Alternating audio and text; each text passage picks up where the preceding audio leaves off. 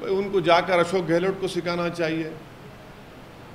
जब जुनेद नसीर की हत्या हो गई तो उन पंद्रह दिन लगे उनके कांग्रेस के मुख्यमंत्री को पीड़ित परिवार से जाकर मिलने के लिए। और उनको एक्सग्रेशिया मिलता है पंद्रह लाख, दूसरों को मिलता है पचास लाख। उनको जाके बताइए आप, उनसे पूछिए। छत्तीसगढ़ में आपकी सरकार ने एक धर्म संसद स्पॉन्सर किया, जिसमें महात्मा गांधी को गाली दी गई। वहाँ बताइए आप।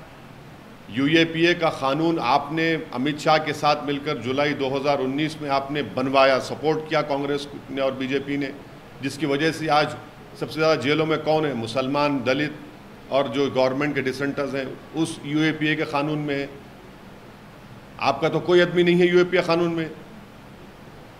जब आपने क्यों सपोर्ट की लोकसभा में? बताना चाहिए उनको। बाबरी मस्जिद का जजमेंट आया, आप लोग वेलकम करते उसको। आज मध्य प्रदेश में आप ही का मुख्यमंत्री कह रहा है कि हिंदू रिलीजियस फेस्टिवल्स को हम करवाएँगे पार्टी के प्लेटफॉर्म से। तो ये मोहब्बत की दुकान है ये। मध्य प्रदेश में आप ही का कमलनाथ कह रहा है कि हम रिलीजियस हिंदू फेस्टिवल्स करवाएँगे।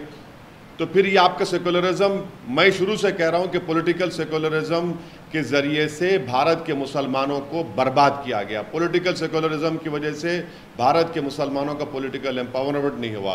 पॉलिटिकल सेकुलरिज्म की को इस्तेमाल करते हुए मुसलमानों का रिप्रेजेंटेशन असम्बली पार्लियामेंट में ख़त्म करके रख दिया गया। मैं पॉलिटिकल सेकुलरिज्म के ख़िलाफ़ था और रहूँगा। जो संविधान में जो सेकुलरिज्म की बात है, उसका मैं कायल हूँ।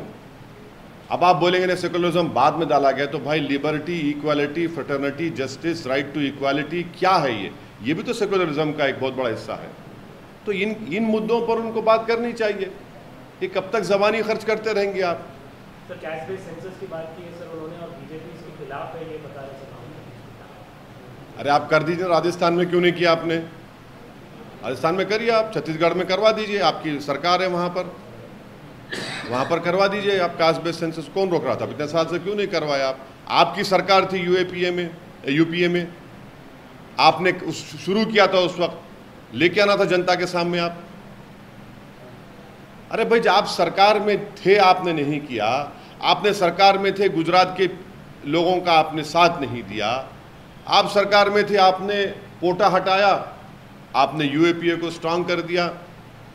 आप सरकार में आपने का सोशो कास्ट सेंसस आपने शुरू किया था, लेके आना था उस वक्त आप।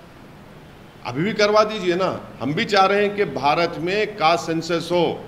हम भी मानते हैं कि रिजर्वेशन की 50 परसेंट की लिमिट को ब्रीच होना चाहिए, जिसके लिए नरेंद्र मोदी के पास 300 एमपी है।